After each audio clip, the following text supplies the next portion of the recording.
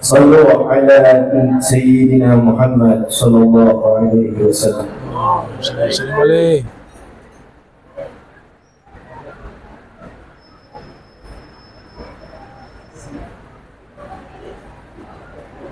اللهم صل وسلم على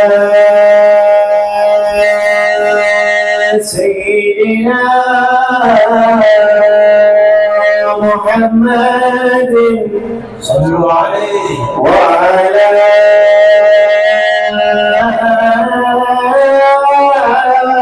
آل سيدنا محمد.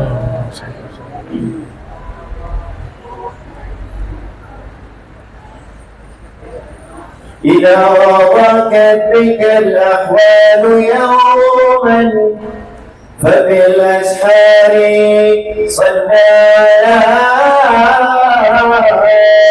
محمد. إذا كنت في ضيق أو في فقر أو في مرض فأكثر بالصلاة على محمد. يصلي الله رب العرش عشرا على عبد يصلي على محمد. وفي عشر يصلي الله مئة فأكثر بالصلاة على محمد. وفي مئة يصلي الله ألفا فأجل بالصلاة على محمد. ولا تترك رسول الله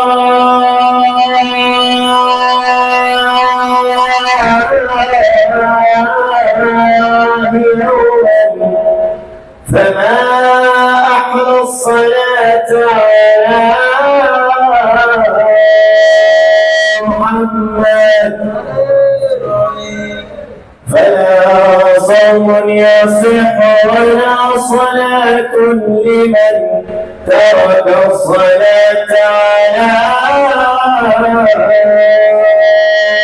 محمد. وإن كانت ذنوبك ليس تحصى تكفر بالصلاة على محمد. وإن كانت ذنوبك ليس تحصى تكفر بالصلاة.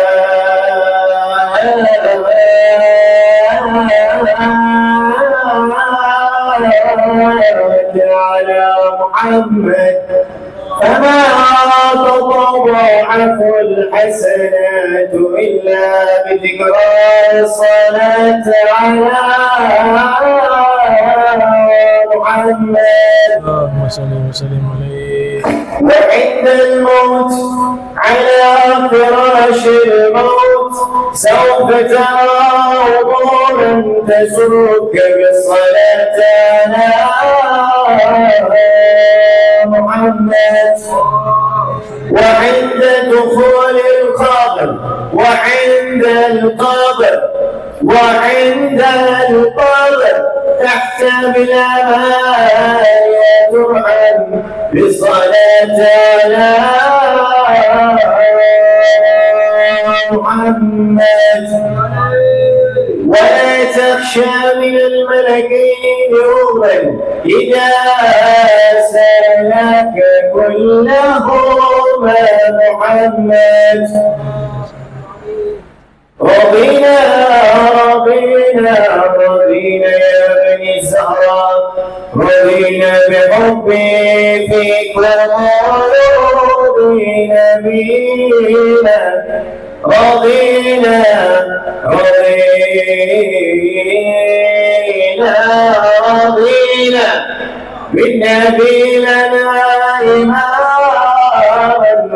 أنتم آله راضين. ولست الحسين كان أبو حيدر ثم زين العابدين. وحيدر ثم زين العابدين.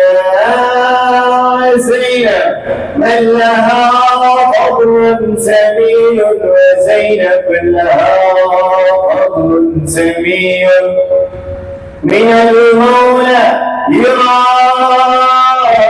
للعارفين أبوك فارس الهيدا عليا عليا زاد جيش المؤمنين. علي زاد جيش العارفين. وأمك بالعدسان وأمك بالعتى المختار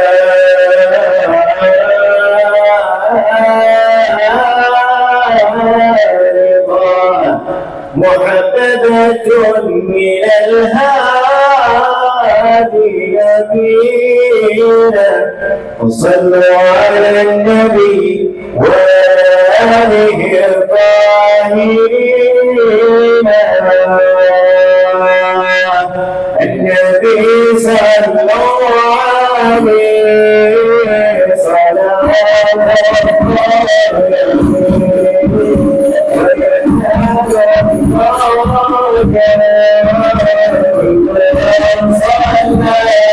Gracias.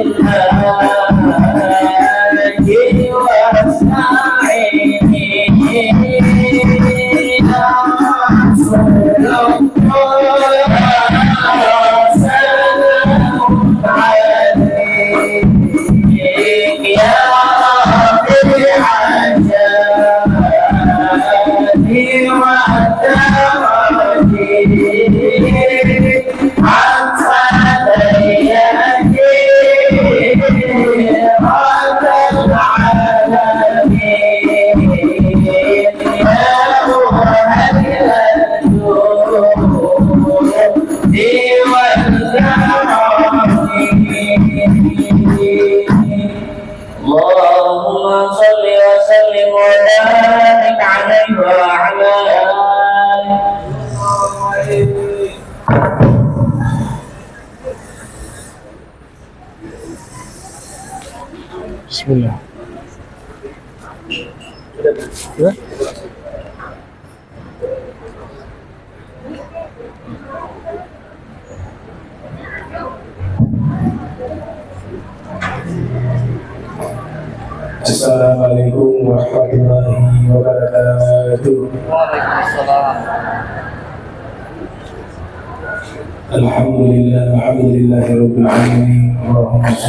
وسلم على سيدنا محمد بفتح باب رحمة الله عدد ما في علم الله صلاة والسلام دائما متلازما بدوام ملك الله وعلى آله وصحبه ومن والاه أما بعد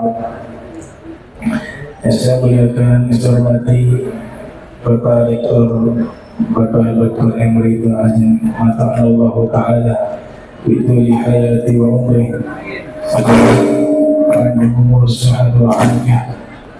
Yang saya muliakan, hormati Para wakil rektor Para rekan Ketua SPI Direktur Pasca Sarjana para ketua lembaga, para kepala biro, para kepala OPT, para dosen, para tenaga kependidikan K3K dan tenaga kontrak, ibu-ibu dan wanita khair dan seluruh mahasiswa dan mahasiswi yang hadir di tempat yang mulia ini. Kampus ini kampus yang baik, makanya namanya Universitas Khairun Khairun itu dalam bahasa Arab artinya baik. Nah insya Allah semua dari mulai rektor sampai tenaga pengajarnya semuanya khair. Mahasiswanya juga khair. Dan kita semua yang hadir dalam keadaan khair. Tema yang diangkat sangat menarik sekali yaitu menghidupkan nilai-nilai uswah hasanah Rasul di era modern. Kata uswah kalau diterjemahkan artinya keteladanan. Kemudian hasanah itu artinya menjadi adjektif, menjadi sifat, artinya keteladanan yang baik. Sekalipun hasanah ini dihapus, kita nisbat kepada Nabi, uswah Rasul itu sudah cukup. Karena pribadi Rasul itu semuanya kebaikan.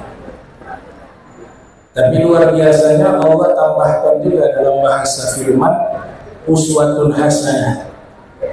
Di dalam diri Rasul ada teladan yang baik. Jadi sebagai penegas di dalam surat Al-Ahzab ayat 21 di ayat itulah yang Allah sebutkan Nabi sebagai figur uswatul hasanah. Laqad kana lakum fi Rasulillahi uswatul hasanah liman kana yarjullaha wal yawmal akhir wa dzakarallaha katsiran.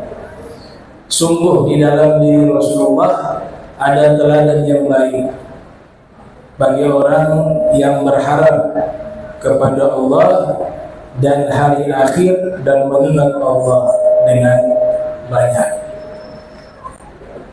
Menariknya diawali dengan kata lakot dalam kajian ilmu bahasa Arab. Lakot ini terdiri dari dua huruf. Ada huruf lam, ada huruf qaf. Huruf lam ini disebut sebagai jawab lil qasam. Huruf sumpah Sedangkan qad itu memiliki arti tahqiq penegasan. Jadi bisa dibayangkan setelah Allah awali dengan sumpah Allah tegaskan menjadi makna kepastian. Jadi sungguh suatu kepastian di dalam figur Rasul adalah teladan yang baik. Biasanya kalau ada penegasan dan ada kalimat sumpah itu sebelumnya ada pengingkaran. Sebab ada yang mengingkari maka keluarlah sumpah.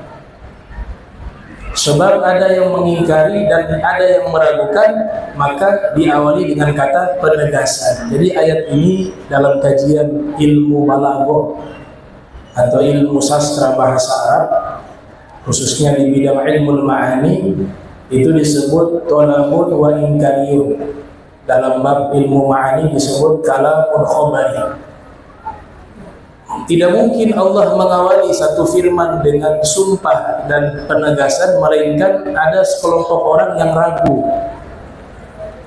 Kita kalau mengatakan kalimat penegasan sesungguhnya maka sebelumnya itu ada yang meragukan kita maka dikuatkan dengan penegasan. Kemudian naik ke level mengingkari maka ada dua penegasan atau bisa juga diganti dengan sumpah. Jadi seakan-akan ada sekelompok orang meragukan apakah Rasul ini bisa dijadikan teladan. Maka Allah menjawab dengan kalimat laqad kana lakum fi rasulillahi uswatun hasanah. Sungguh pasti di dalam figur Rasul ada teladan yang baik. Nah itu arti dari kata uswah artinya teladan. Di dalam ilmu kiroah bisa juga dibaca iswatun hasanah. Dalam kiroah yang lain, laqad kana lakum fi rasulillahi iswatun hasanah. Kiroah yang lainnya uswatun hasanah. Kedua-duanya kiroah yang benar yang diterima oleh para ulama ahli kiroah. Ada juga bahasa lainnya teladan dalam bahasa Al-Quran disebut dengan al-iktida atau al-qudwa. Kalau al-qudwa kita meneladani sekelompok orang. Biasanya bahasa Al-Quran menggunakan lafaz teladan atau meneladani dengan lafaz qudwa.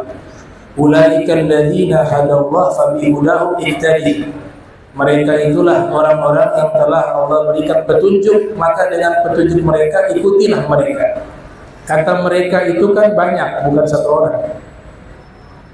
Tapi ketika kata uswah, dia hanya menjadi teladan kepada sosok seorang atau sosok pribadi atau seorang figur, bukan kelompok. Maka ketika Nabi yang disebutkan sebagai teladan Allah Ta'ala gunakan lafad uswah tapi tidak menggunakan lafad kudua Nah itu perbedaan antara lafad kudua dan uswah. Walaupun secara arti maknanya meneladani Tapi memiliki tafsiran yang berbeda. Ada sebagian ahli lubah juga menerjemahkan Kalau kudua itu contohnya ada di depan Kita ikuti sekelompok orang orang itu kita bisa lihat ada di hadapan kita. Tapi ketika uswah sekalipun tidak ada di hadapan kita, tapi kita mendapatkan keteladanan lewat riwayat-riwayat. maka disebut dengan uswah. Nabi kita sallallahu alaihi wasallam menjadi uswah hasanah di sepanjang zaman. Bukan hanya di zaman beliau, tapi keteladanan beliau sudah direkomendasikan oleh Allah taala kepada kita itu sepanjang zaman dan di setiap tempat. Maka di era modern yang kita menghadapi banyak tantangan termasuk tadi yang dikatakan oleh Bapak Rektor tantangan teknologi globalisasi kebudayaan perdagangan pekerjaan pendidikan karakter dan kurangnya semangat umat dalam menerapkan nilai-nilai dan hukum-hukum agama. Dan itu tantangan-tantangan yang ada di era modern. Solusinya hanya satu. Solusinya adalah mengikuti dan meneladani Nabi kita Muhammad sallallahu alaihi wasallam. Ada hal yang menarik ketika Allah perintahkan mengikuti Nabi. Bukan hanya sekedar mengikuti, tapi ayat di dalam Al-Quran yang diinformasikan oleh Allah Ta'ala mengikuti Nabi itu yang paling awal terlebih dahulu tanamkan rasa cinta, mahabbah.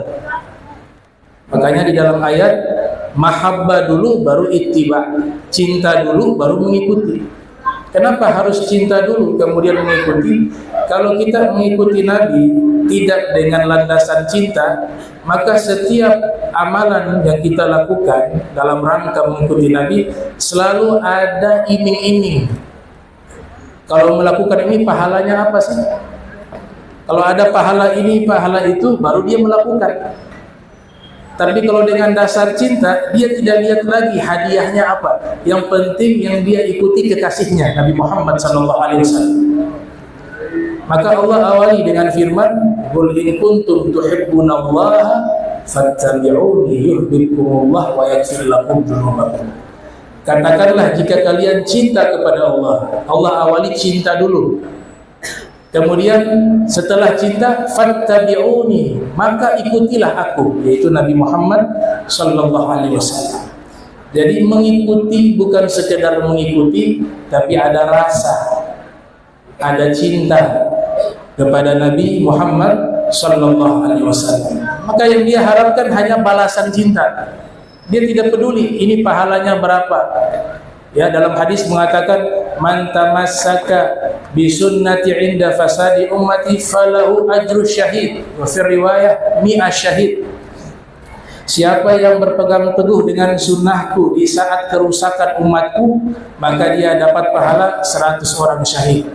Dalam satu riwayat satu orang syahid. Bagi para pencinta hal ini tidak penting. Berapa banyak pahala yang didapat? Yang paling penting ketika mengikuti Nabi, dia mendapatkan balasan cinta dari Allah dan dari Nabi Muhammad sallallahu alaihi wasallam. Itu sudah cukup.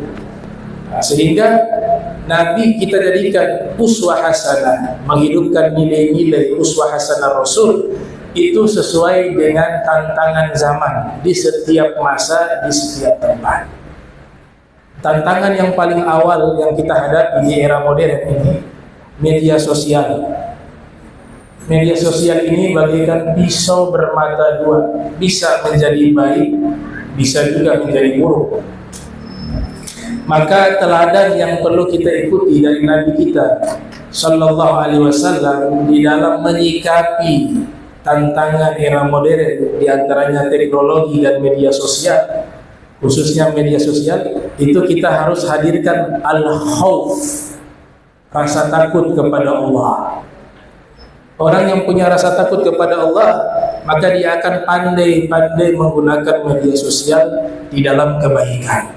Terutama masalah informasi yang begitu bebas tanpa disaring dan tanpa diketahui kebenaran berita tersebut. Allah Subhanahu wa taala telah menuntun kita cara menyikapi berita-berita yang datang kepada kita.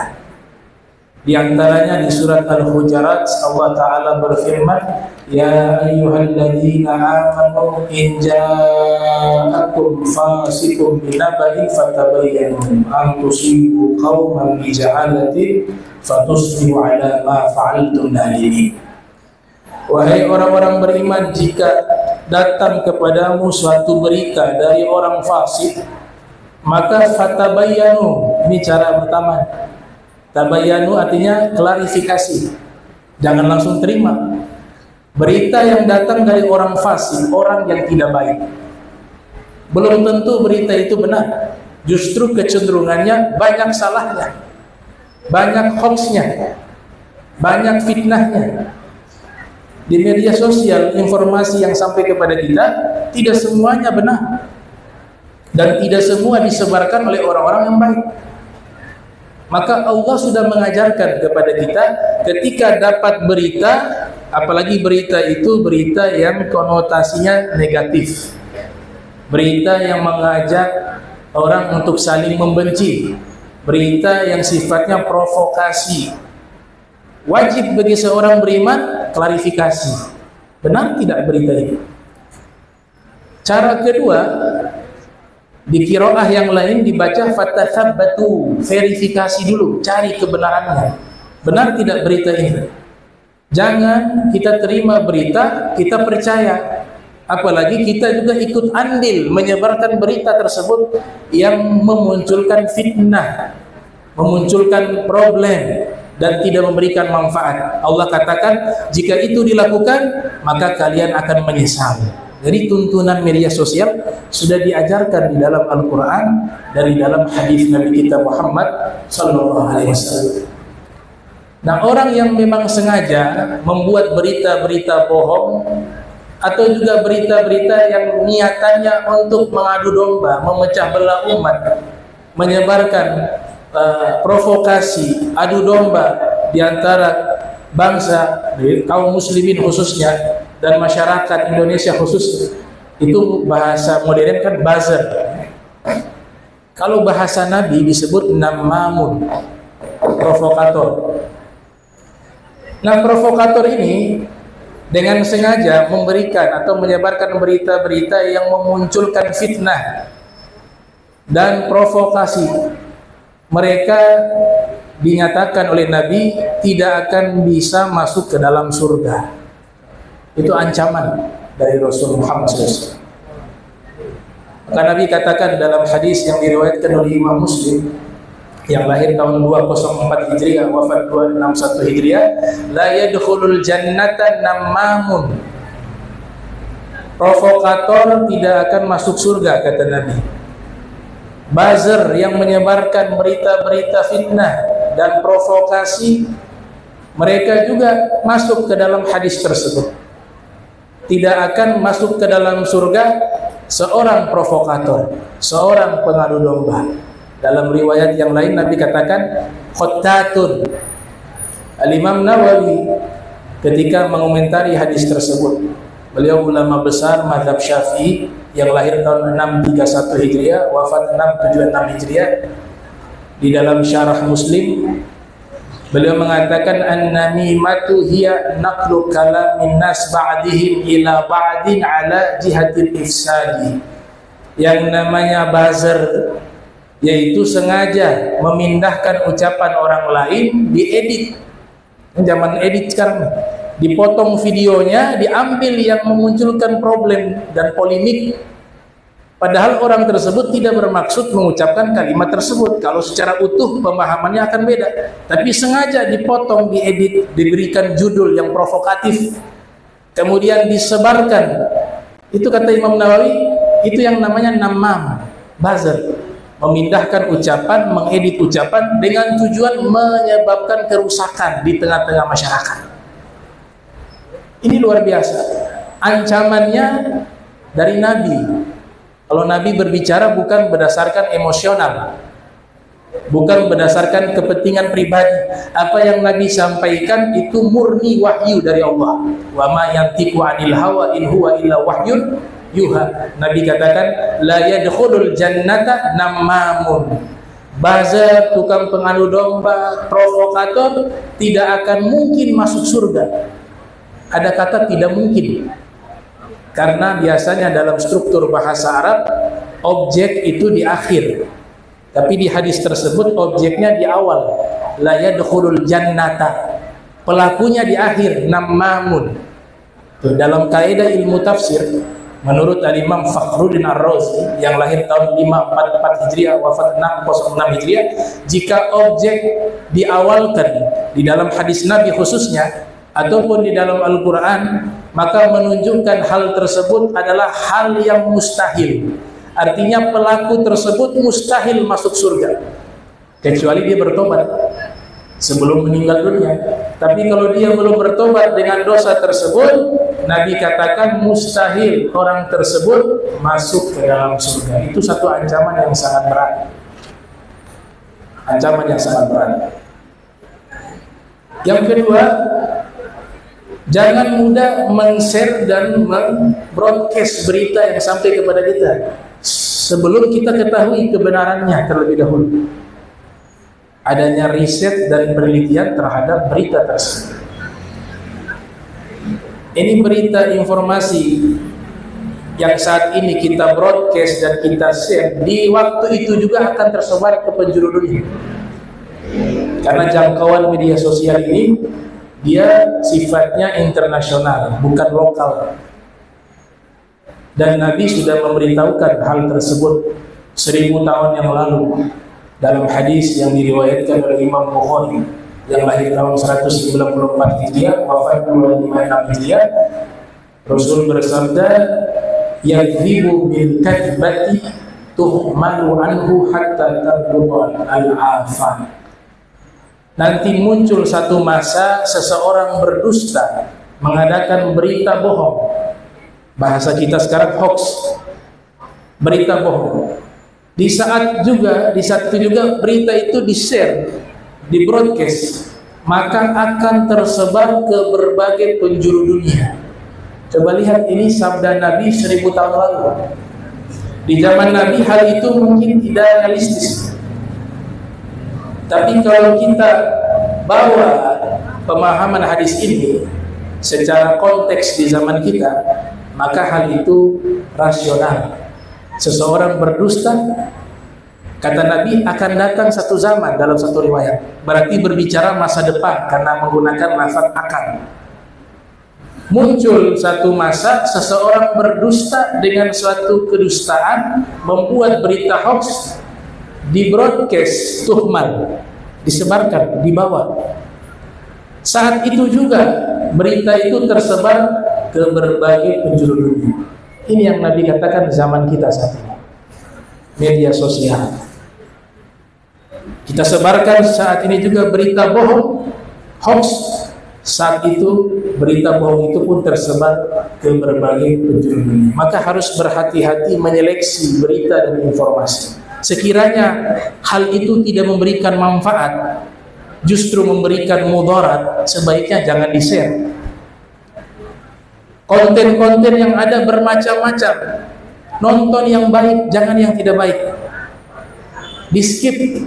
Kalau ada berita yang tidak baik, di-skip. Ada konten yang tidak baik, di-skip. Kalau kita ikut menonton, kata Imam Ghazali, ya kita terlibat juga dalam perbuatan itu karena mendukung konten mereka dengan kita menjadi penonton. Nah ini tantangan yang ada di zaman kita yaitu teknologi. Kemudian mohon maaf yang ketiga, ini zaman luar biasa fitnahnya.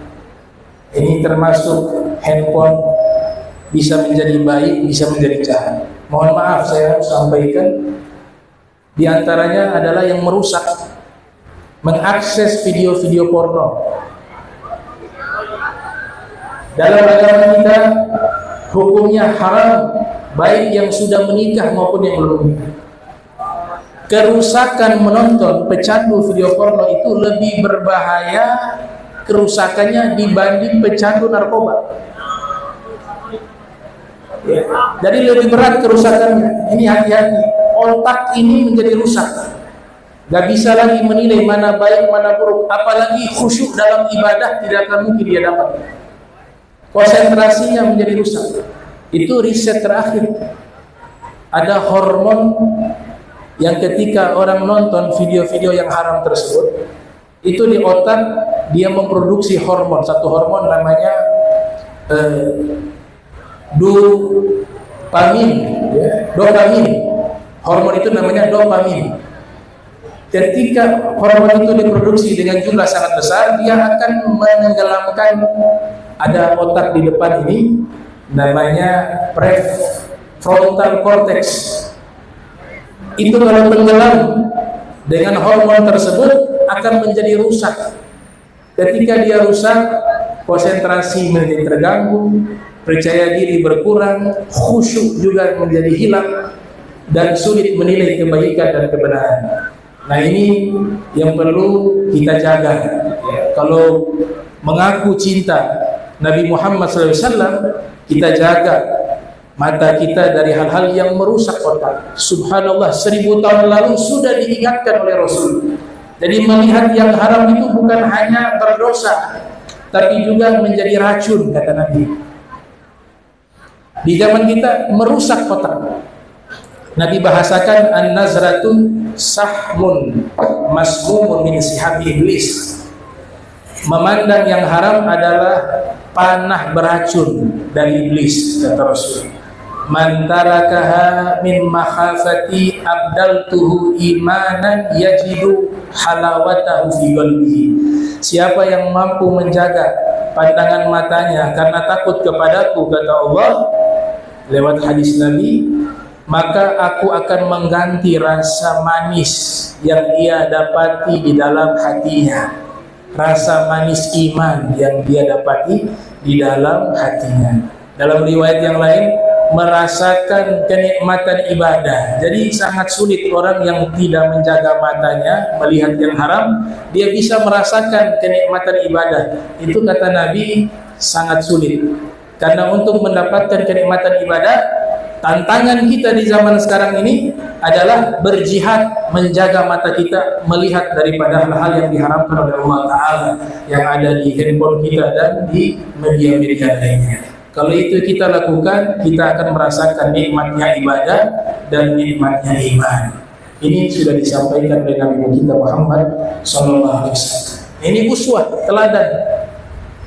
Kemudian tantangan berikut, tantangan berikut yang Allah nyatakan juga budaya globalisasi.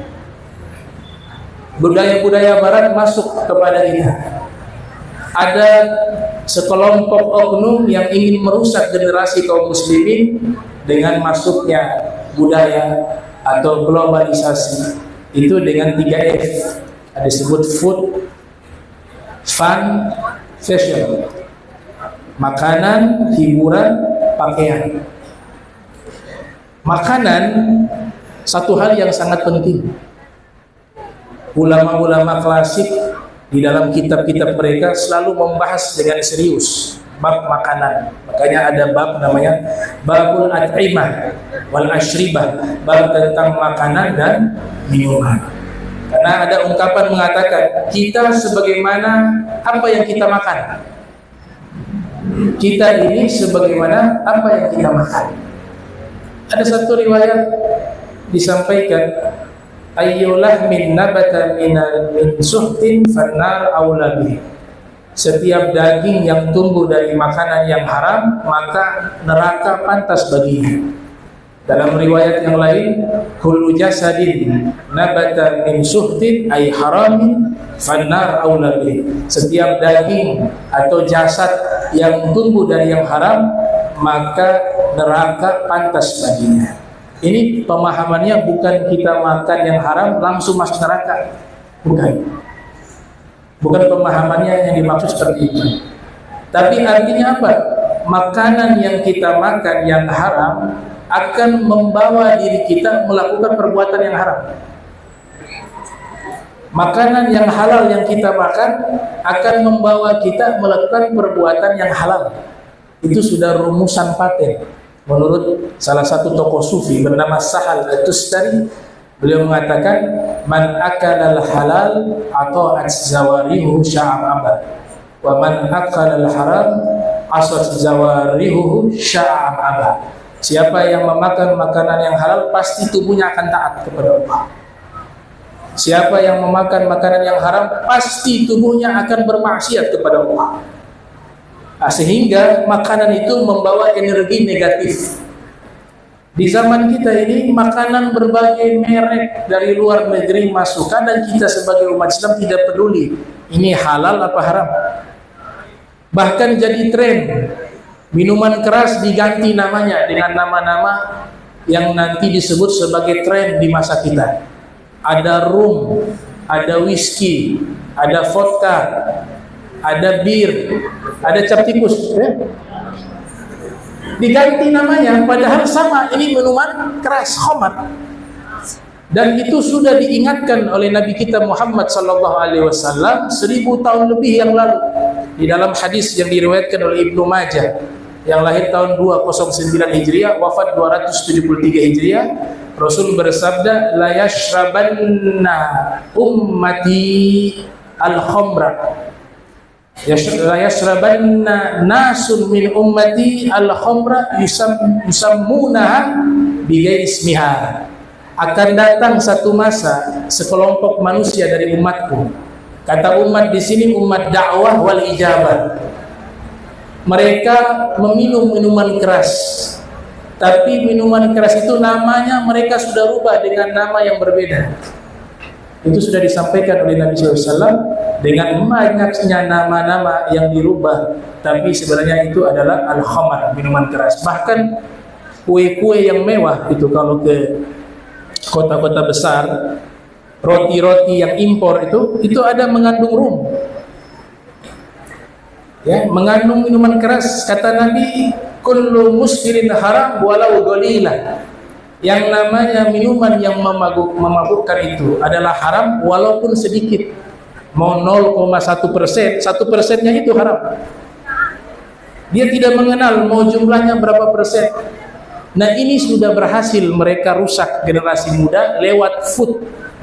Toang lewat makanan kadang-kadang makanan yang punya nama bahasa Inggris lebih disukai dari bahasa lokal. Padahal sama. Ada namanya vegetable with peanut sauce. Laku dijual satu juta pun ada yang beli. Padahal kalau bahasa Indonesia gado-gado sayur mayur dengan sos kacang sayur mayur dengan sos kacang tapi ketika dijadikan brand bahasa Inggris lebih disukai oleh anak muda Nah itu yang terjadi di zaman kita. Memang itu sudah menjadi visi misi oknum ya kelompok dari orang yang merusak agama kita lewat food, lewat makanan. Kemudian yang kedua lewat fun, lewat hiburan. Terlalu banyak hiburan, kadang mereka sisipkan sesuatu yang haram untuk merusak generasi kaum muslimin. Diberikan tontonan-tontonan untuk mengajak bagaimana biar pacaran melakukan hubungan bebas antara lawan jenis mengadakan pesta-pesta dan lain sebagainya. Itu sudah strategi mereka untuk merusak generasi kaum muslimin. Secara tidak sadar kadang-kadang terpapar sebagian generasi kaum muslim bahkan orang-orang yang sudah usianya lanjut ada hari Valentine misalnya itu melegalkan perzinahan ada hari Halloween, ada hari-hari yang mereka buat menjadi tradisi-tradisi yang tidak baik bagi generasi kaum muslimin itu sudah berhasil mereka lakukan. Jadi kita harus tahu bagaimana strategi mereka dan uswah hasanah Nabi dalam menyikapi masalah tersebut. Dan yang ketiga adalah fashion, pakaian. Ketika ibu-ibu menggunakan pakaian muslimah pakaian yang baik mohon maaf ada pakaian syar'i namanya cadar. Itu masuk dalam hukum Islam bukan budaya Arab. Budaya Arab vulgar pakaiannya di awal-awal sebelum datangnya agama Islam. Makanya ayatnya melarang wala tabarrajna tabarrujal jahiliyatil ula Jangan kalian berdandan seperti dandanan orang-orang jahiliyah terdahulu. Coba merujuk di dalam kitab-kitab tafsir para ulama. Apa yang dimaksud berdandan seperti orang-orang jahiliyah terdahulu? Mereka menggunakan kain kaum wanita di bagian kepala tapi rambut kelihatan dan bagian dadanya terbuka. Itu budaya budaya Arab yang ada waktu itu. Ketika agama Islam hadir, maka dihapus budaya tersebut dengan pakaian syar'i yang namanya jilbab. Jilbab adalah kain panjang yang menutup kepala sampai mohon maaf di bawah dada wanita. Itu namanya jilbab. Yunina alaihinna min jalabibihinna. Perintah dari Allah. Syariat bukan budaya. Gul Ya ayuhan nabi ya ayuhan nabi gul li azwajika wa banatika wa nisa'il mu'minin yudnina 'alaihinna min jalabihinna. Katakanlah wahai nabi kepada istri-istrimu anak perempuanmu dan wanita-wanita orang beriman hendaknya mereka menjulurkan kain yang menutup kepala mereka sampai ke bawah dada itu tafsiran dari Dr. Syekh Ali As-Sobuni dalam kitab beliau Rawahul Bayan fi Tafsir Ayatil Ahkam. Nah, ini pakaian sekarang ketika ada yang menggunakan pakaian yang syar'i dikatakan budaya Arab. Tujuannya apa? Untuk menghilangkan syariat ini. Kalau yang ada wajah terbuka itu juga pendapat dari madhab dalam fikih dan ini bukan pakaian budaya, ini syariat Islam. Nah, di situlah musuh ingin menghancurkan ajaran Islam dengan cara-cara tersebut lewat pakaian. Sudah menggunakan pakaian syar'i juga dirusak. Pakai jilbab, pakai kerudung, tapi pakaian di badannya ketat sehingga tubuhnya itu kelihatan bentuknya. Itu bukan menutup aurat, itu siasat dari musuh-musuh Islam yang ingin merusak syariat Islam. Mereka tahu caranya. Ada yang transparan, bajunya tipis. Dia pakai kerudung, tapi kainnya tipis. Ada yang ketat sehingga tubuh itu terlihat bentuknya. Fungsi menutup auratnya hilang. Dan sudah dikatakan oleh Nabi, hal itu akan terjadi. Nabi pernah mengatakan di hadapan sahabat, "Wa nisaun kasiyatun ariyatun." Akan muncul kaum wanita menggunakan pakaian penutup aurat tapi telanjang kata. Apa maksudnya? Tidak secara tuntunan syariat pakaian yang digunakan. Dia pakai jilbab, pakai kerudung tapi ketat pakaiannya Celananya juga demikian, pakai celana jeans yang membentuk dia punya tubuh. Nah ini berhasil, musuh-musuh Islam berhasil merusak ajaran Islam lewat pakaian. Jadi benar yang dikatakan ini bahwa globalisasi punya dampak positif, ada juga negatif. Negatifnya adalah ada oknum yang sengaja merusak generasi kaum muslimin lewat makanan, hiburan, dan yang ketiga lewat pakaian. Tantangan berikutnya masalah pendidikan karakter. Ini juga dirusak di era modern saat ini. Dikatakan jadikanlah guru itu seperti teman. Gak bisa dalam Islam guru itu dijadikan teman. Guru adalah guru, murid adalah murid. Saya berbicara kapasitasnya sebagai penceramah yang membahas hukum Islam. Jadi dalam Islam posisi guru sangat mulia. Dia bagaikan perwakilan Rasul. Perwakilan dari Nabi innama buistu mualliman saya diutus menjadi seorang guru. Kalau memposisikan guru sama seperti teman penghormatannya hilang. Padahal keberkahan ilmu terletak daripada adab dan akhlak murid kepada guru guru. Coba lihat mereka rusak tuh. Lewat sistem pendidikan. Ya itulah risiko di era modern Namun alhamdulillah di agama kita sudah ada tuntunan dari Nabi kita Muhammad SAW. Uswah hasanah itu sudah ada. Ada salah satu guru dari guru kami, Profesor Dr. Said Muhammad bin Ali Al-Maliki Al-Hasan. Beliau mengatakan di dalam satu nasihat beliau, subutul ilmi bil mutala'ah wa barakatuhu wa barakatuhu ya wa barakatuhu bil khidmah wa naf'uhu bi syekh kuatnya ilmu di dalam akal kita dengan banyak mengulang pelajaran. Makin banyak diulang pelajaran, dibaca, maka ilmu itu akan menetap di akal kita. Tapi keberkahan ilmu adanya di dalam khidmah kepada guru dan manfaat ilmu adanya di dalam ridhonya seorang guru. Nah ini al-adab fauqal ilm. Konsep dalam agama kita, agama Islam, adab di atas ilmu. Jadi teori yang mengatakan memposisikan guru layaknya teman ini teori yang bertentangan dengan apa yang dicontohkan oleh Nabi kita Muhammad sallallahu alaihi wasallam dan apa yang diajarkan oleh Nabi Muhammad sallallahu alaihi wasallam. Mungkin kalau maksudnya sebagai teman banyak memposisikan diri bisa menjadi teman seri sehingga ada masalah bisa disampaikan. Mungkin kalau makna seperti itu sesuatu yang baik. Tapi ketika menempatkan pangkat guru turun derajat menjadi satu pangkat menjadi teman, maka di situ keberkahan ilmu akan hilang dan gak akan berhasil, gak akan manfaat ilmu.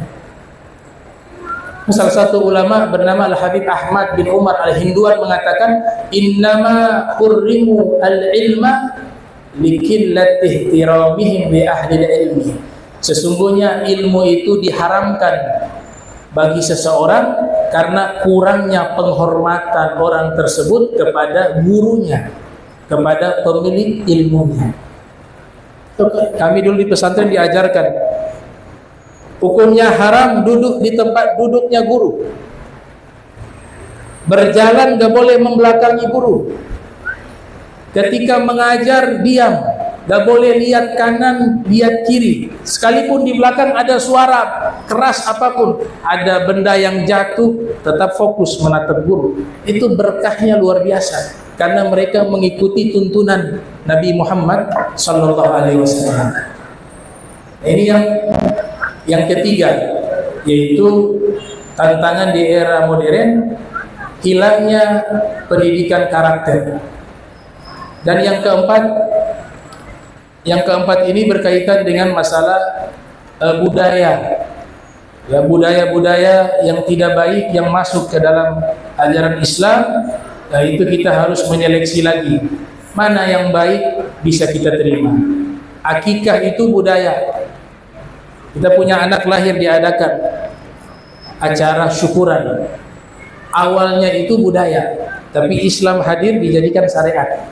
Kenapa? Karena budaya ini dalam perspektif agama Islam memiliki nilai-nilai kebaikan, yaitu rasa syukur atas pemberian Tuhan kepadanya diberikan anak. Itu dianggap baik dalam agama Islam. Maka nilai ini dipertahankan, budaya ini dipertahankan. Jadi agama Islam bukan agama anti budaya, atau anti adat tidak. Bahkan dalam kaidah usul fik itu dikatakan al adah muhakkamah. Adat bisa dijadikan hukum. Adat bisa dijadikan hukum. Yaitu selama adat itu baik dan tidak bertentangan dengan hukum syariat maka adat itu akan didukung oleh syariat. Sebagaimana akikah ada pun teknis yang keliru. Mereka memotong kemudian darahnya diusapkan ke kepala anak, dagingnya dipersembahkan kepada berhala. Nah, teknis yang tidak baik ini dihapus oleh agama Islam. Tapi nilai-nilai kebaikan itu tetap dirawat dan dipertahankan di dalam agama Islam sampai saat ini kita disunahkan dalam mazhab Syafi'i. Akikah itu hukumnya sunnah dalam mazhab Syafi'i yang awalnya itu adalah adat dan tradisi. Dan yang kelima, tantangan di era modern saat ini yaitu kurangnya semangat umat dalam menerapkan nilai-nilai hukum agama Islam. Kadang-kadang mohon maaf sebab pekerjaan. Anaknya awalnya pakai hijab, pakai jilbab, dianggap oleh ibunya ini tidak tren zaman sekarang. Buka hijabnya. Apakah ini namanya tren? Tren yang memasukkan kita ke dalam neraka? Tren yang mendatangkan murka Allah? Wallah itu bukan tren, itu kebodohan. Kita semua ini suatu saat akan mati, akan wafat. Yang menyelamatkan kita hanya satu, mengikuti Nabi Muhammad SAW. Melaksanakan syariat Nabi Muhammad SAW. Di zaman saat ini kurang nilai-nilai syariat itu dipertahankan. Gampang goyah dengan masalah ekonomi yang sangat sepele. Masalah dunia itu semua kekayaan dan isi dunia itu harganya sama seperti sebelah sayap nyamuk kata Nabi Muhammad SAW. Allah ketika menciptakan sebelah sayap nyamuk dengan Allah menciptakan dunia dan isinya dan kemegahan yang ada itu nilainya di mata Allah sama. Sesuatu yang sangat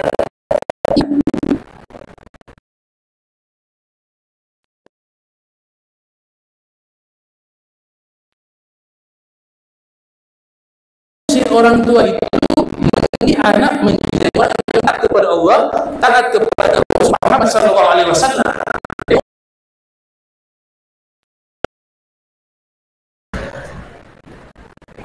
Hukum di atas segala-galanya. Dan kita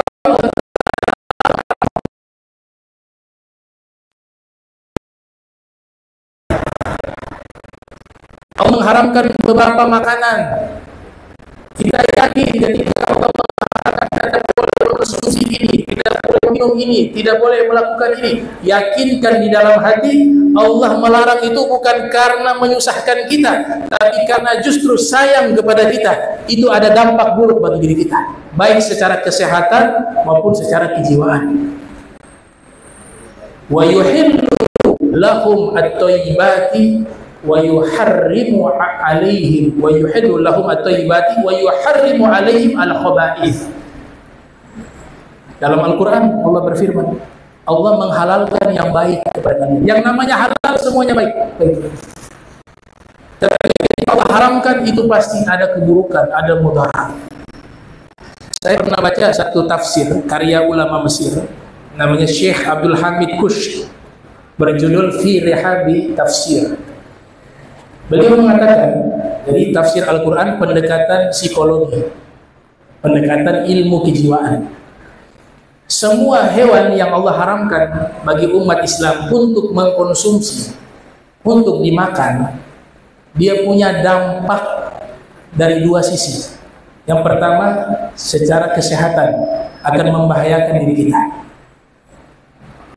Misalnya disebut khinzir,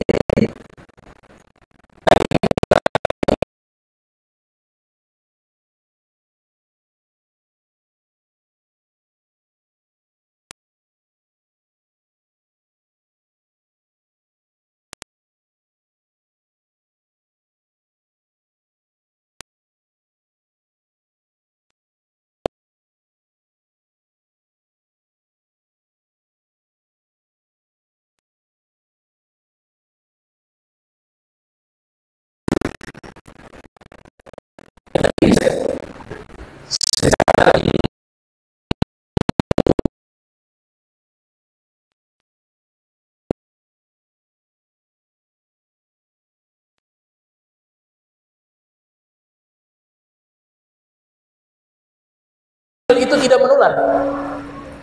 Bahaya kalau yang halal menular. Makan kambing sifat kambing itu Makan sapi sifat sapi tidak. Yang halal tidak menular sifat-sifat. Tapi yang haram menular. Kenapa? Tekstur daging yang haram, terutama anjing dan babi,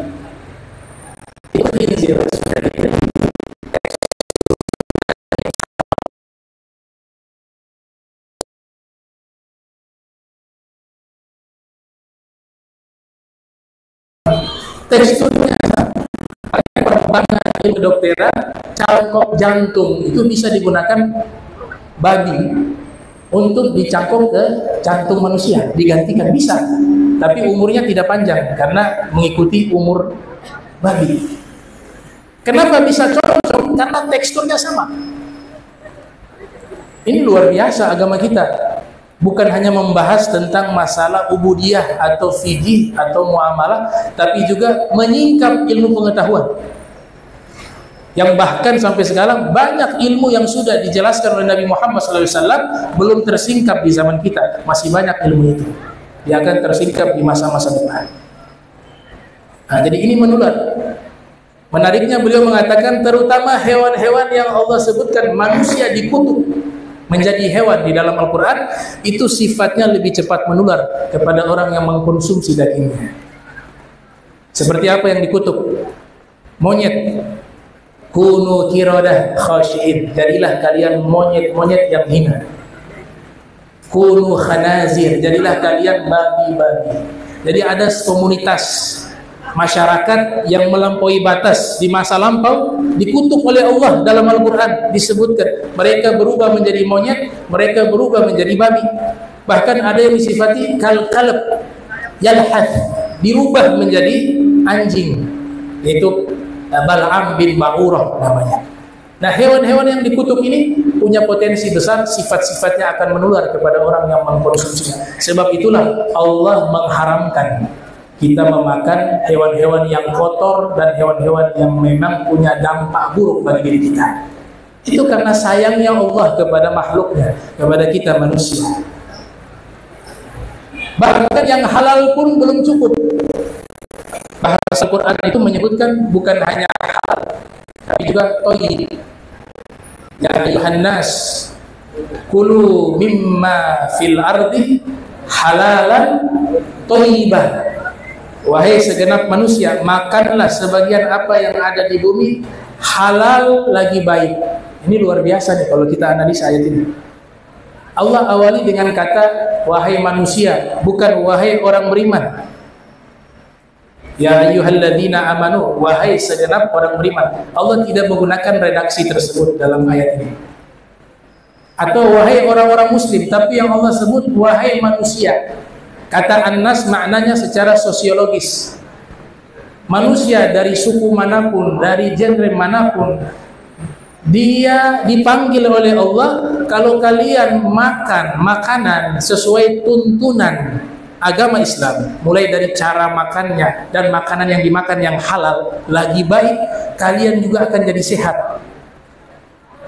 Jadi kalau orang non muslim ingin sehat, makan makanan yang halal makan makanan yang baik, yang baik. Tidak mengenal dia mukmin atau muslim. Pola ini kebaikannya bagi semua manusia. Karena tadi konsep dasar awal ketika diharamkan oleh Allah ada dampak buruk bagi manusia. Ketika dihalalkan maka makan itu baik. Yang menarik di sini juga dikatakan bukan hanya halal yang diperhatikan, toib juga yang banyak gizinya. Toib juga bisa diartikan ada orang alergi makanan tertentu misalnya udang dalam mazhab kita halal ya tapi ada mazhab lain haram. karena dalam mazhab lain itu semua hewan laut yang tidak bersisik hukumnya haram.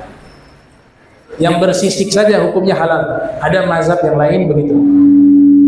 Tapi kalau mazhab syafi'i sesuai hadis semua yang di laut halal. Kecuali secara umum ada mudarat. Ada mudarat, mudaratnya itu haram. Hukum dasarnya di laut itu semuanya halal. Fil barri tahur ma'uhu al-hillu maitatuhu. Nabi katakan di lautan airnya suci dan mensucikan dan semua bangkai hewannya halal. Kemudian di laut kita gak perlu menyembelih secara syar'i sebagaimana kambing. Kita bangkainya halal. Artinya tanpa proses penyembelihan secara syar'i. Imam Ghazali menganjurkan kalau ikannya besar dianjurkan menyembelih atau ikan-ikan yang memang matinya lama itu dianjurkan untuk menyembelih. Tapi secara umum syariat menyembelih itu hanya hewan yang di darat, bukan yang di laut. Soalnya kalau di laut kasihan yang ikan apa yang kecil? Ikan nafi.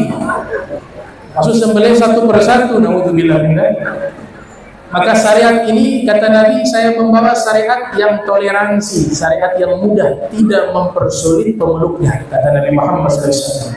Inna ma bu'ithum bihanafiyah samha.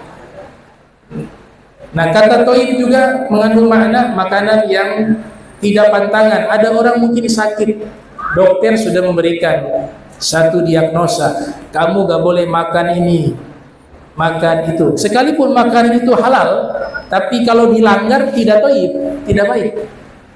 Maka Allah Subhanahu wa taala mengaitkan tidak cukup hanya halal, tapi juga ada kata toib yang baik. Ikhwan muslimin rahimahullah. Yang terakhir ingin saya sampaikan eh, kurangnya penerapan hukum-hukum Islam itu sebabnya satu dalam kitab Tajul A'ras disebutkan oleh Al Habib Ali bin Husain Al Attas kurangnya umat Islam mempelajari ilmu fikih. Coba lihat jika di satu daerah ramai ulama yang mengajarkan tentang ilmu fikih, di situlah hukum Islam bisa terlaksana dengan baik. Karena hukum fikih berkaitan dengan masalah hukum-hukum Allah, hukum Islam. Dan wibawa agama Islam ini terletak pada ilmu fikih. Memang ilmu ini dianggap ilmu yang membosankan. Sebagian orang mengatakan demikian. Karena yang dibahas ini tidak boleh, ini boleh, ini halal, ini haram, ini makruh, ini mubah, ini batil, ini sah, ini syubhat. Secara fitrah memang akan tidak senang karena ada hal-hal yang haram yang syahwat itu suka. Ketika syahwat itu suka dihalangi tentu tidak senang. Jadi hukum ini bukan berdasarkan selera manusia. Dia hukum adalah ketetapan ilahi, bukan berdasarkan selera manusia. Maka Nabi katakan la yu'minu ahadukum hatta yakuna hawahu taba'an lima jitu Tidak sempurna keimanan seseorang di antara kalian hingga hawa nafsunya tunduk mengikuti ajaran yang aku bawa kata Nabi Muhammad SAW. Karena hukum ini ketika dilaksanakan nafsu berontak, syahwat berontak, karena ada hal-hal yang memang tidak disukai oleh syahwat dan nafsu, dihalangi oleh hukum. Dalam bahasa hadis lain Nabi katakan, hujibatin nar bisyahwat. Di hujibatin nar bil lazzat wasyahwat fi riwayat. Dikelilingi neraka itu dengan syahwat, hal-hal yang melezatkan. Wa hujibatil jannatu bil makarih dan dikelilingi surga dengan hal-hal yang tidak menyenangkan bagi nafsu dan syahwat kita. Karena dasarnya kita punya nafsu ini namanya nafsu amarah bisu. Nafsu yang selalu mengajak kepada keburukan. Syariat membatasi itu. Nah, jadi ilmu fikih inilah menjadi barometer dan ada sabda dari Nabi yang diriwayatkan oleh Syekh Nawawi Al-Battani sayati zaman ala ummati yafirruna minal ulama wal fuqaha fayabtalihimullah bi thalathi baliyatin ulaha yarfa'ullahu barakah min kasbihim. Wa thaniya yusallitullah alaihim sultanan zalima wa thalitha yakhrujuna minad dunya bighairi iman. Nabi mengatakan akan datang satu zaman umatku lari menjauh dari para ulama dan para fuqaha. Kalau itu dilakukan maka Allah akan memberikan tiga ujian kepada mereka yaitu kepada umat. Yang pertama keberkahan usaha mereka diangkat oleh Allah.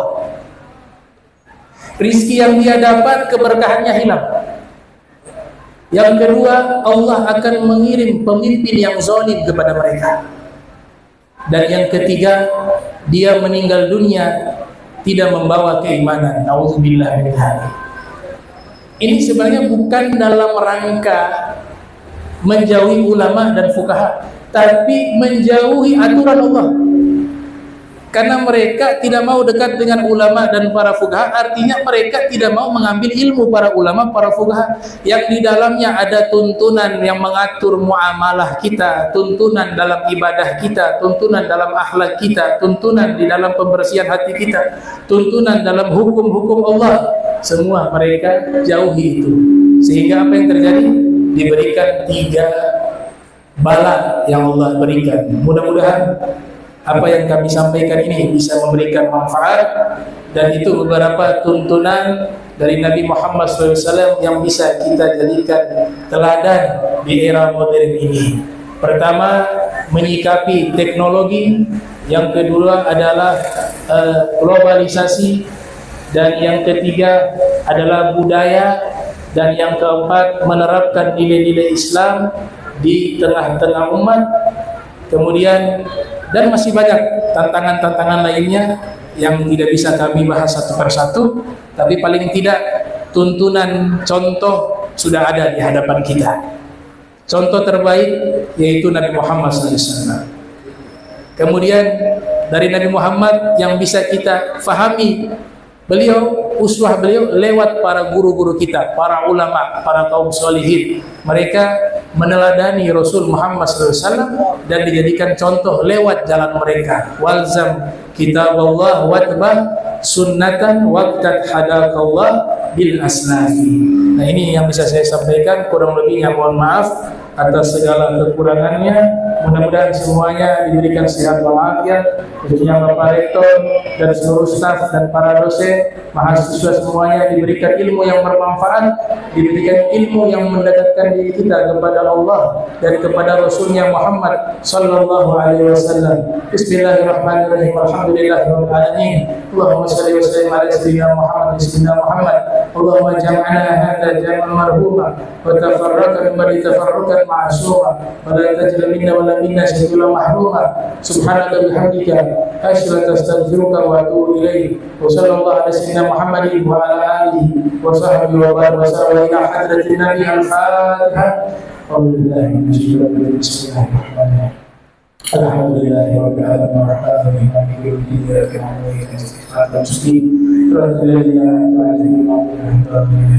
اللهم فيها الحمد لله رب العالمين منكم والسلام عليكم ورحمه الله وبركاته.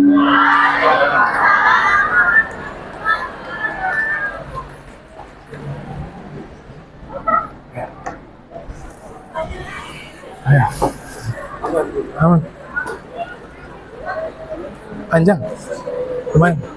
Toil, ya. Oh. Baik, terima kasih untuk Al Habib Abdurrahman bin Kamal Asagir SPDI FPDI telah menyampaikan hikmah maulid untuk kita semua. Insya Allah untuk kita yang telah menyimak mendapatkan kiramal dari Allah Subhanahu Wa Taala.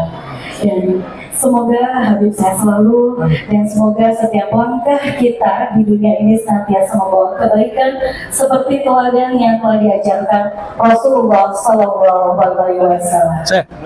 Baik, Bapak Ibu hadirin yang insya Allah dirahmati oleh Allah Subhanahu Wa Taala. Makasih, Pak. Acara demi acara telah kita selenggarakan dan sampailah kita pada akhir acara pada sore hari ini.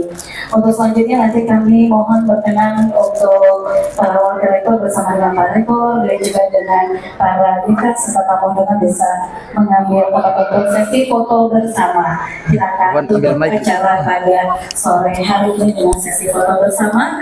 Terima kasih. Insya Allah kita semua selalu diberkahi oleh Allah Subhanahu Wa Taala. Dan akhirnya mewakili ibu-ibu dan wanita yang bekerja keras dalam rangkaian acara berkolaborasi dengan Universitas Hayul kami ucapkan terima kasih. Wassalamualaikum warahmatullahi wabarakatuh